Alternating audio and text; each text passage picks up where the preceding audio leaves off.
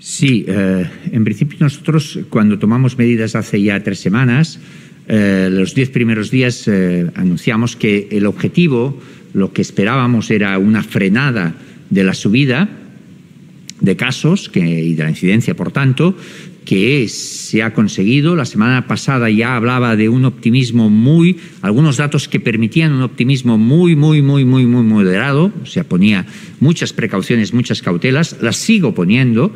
Lo que sí es cierto es que en estos seis días vamos viendo un suave descenso, repito, suave, muy suave descenso, pero también, eh, y lo he dicho en la, en la rueda de prensa, mm, nos preguntamos cuánto tiempo va a durar este descenso. ¿Por qué?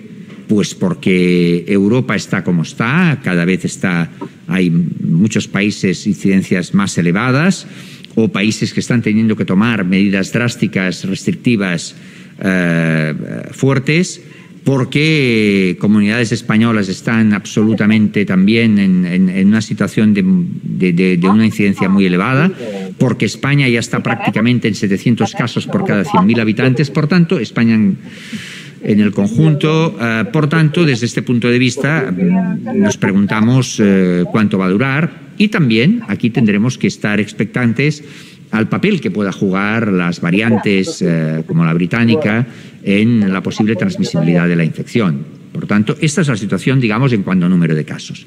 Hay un elemento que sí que es clave, y lo saben ustedes en, todo lo que es eh, la situación epidemiológica o asistencial en este caso, que es el número de personas en, unidades de, cuidados intensivos, que en estos momentos tenemos 612 personas en cuidados intensivos. Es un número elevado.